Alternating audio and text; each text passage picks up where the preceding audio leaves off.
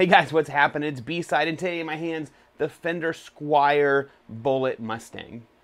If you are looking for a cool, vibey guitar just to have around the house, or maybe it's your first guitar, you don't want to spend a bunch of money, 179 bucks, this is a really sweet guitar. So, a couple things about this guitar. One, it is really, really lightweight. Uh, it's definitely got a little bit smaller body. It's a short scale length. So what that means is the distance between the bridge and the nut right here is actually 24 inches. Uh, on a Telecaster or something like that, it'd be 25.5 inches, so it makes it that a little bit longer.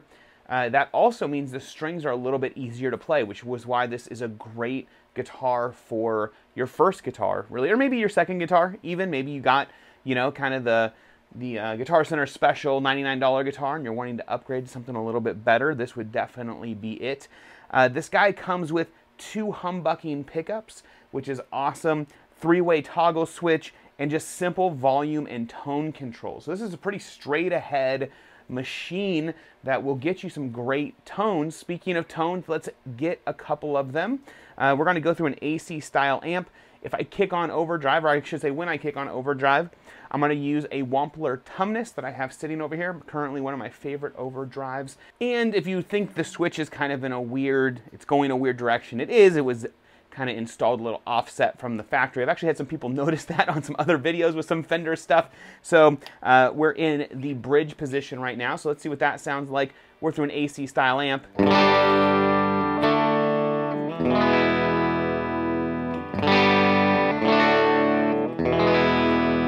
All the way up. Let's go ahead and flip it to the neck position.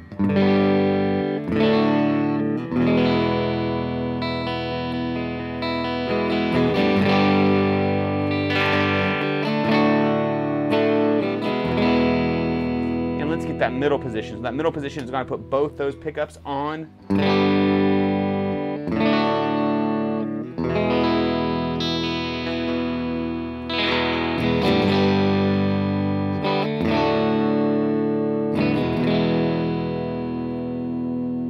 Back to the bridge position.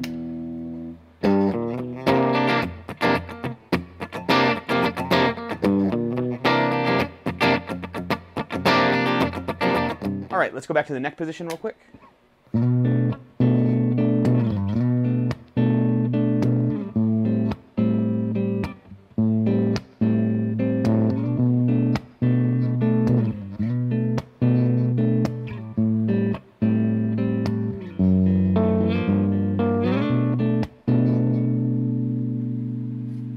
All right, now let's throw that tumnus on. Let's do a little just rocking out. Uh, right back to that bridge position.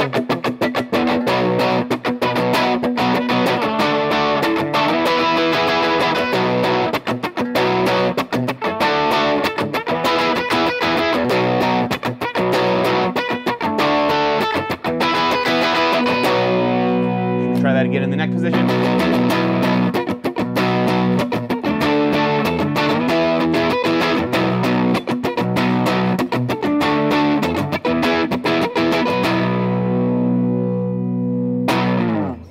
And still in the neck position.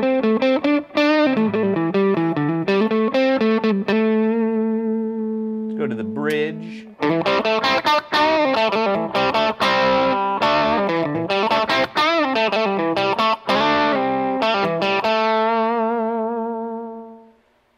So overall, a really cool guitar for 179 bucks, kind of hard to beat.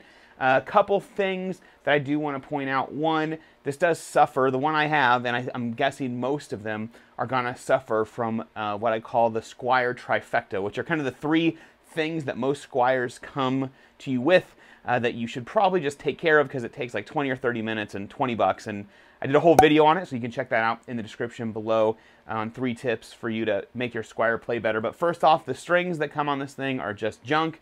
So the first thing I would do is just cut them off and put on new ones.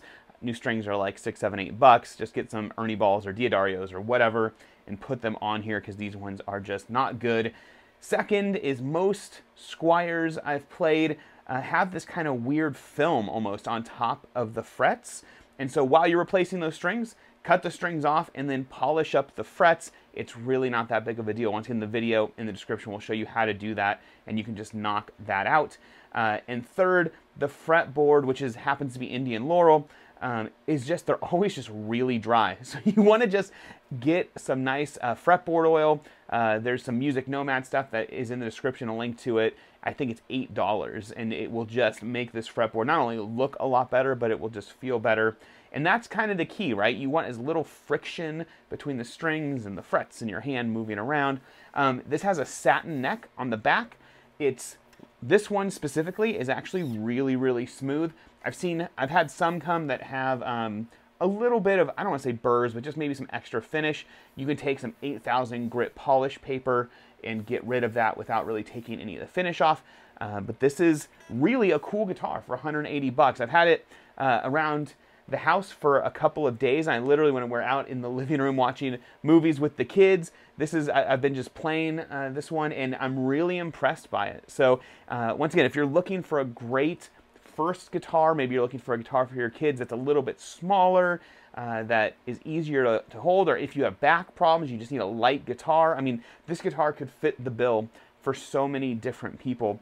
Really worth it. I mean, for 179 bucks, it's worth grabbing one especially if you can get it in this sweet seafoam green. I mean, how cool is that?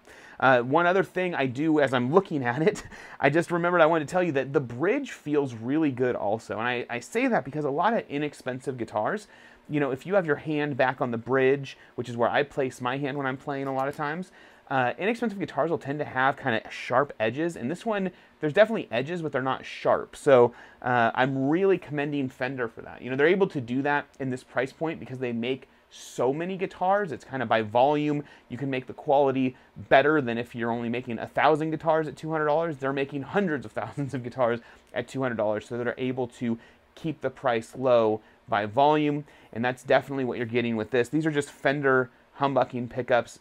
On the website, it just says humbucking pickups. So these are just some inexpensive pickups, so they sound halfway good. So yeah, I don't think you're gonna have to worry about replacing those basic tuners on the back of the headstock.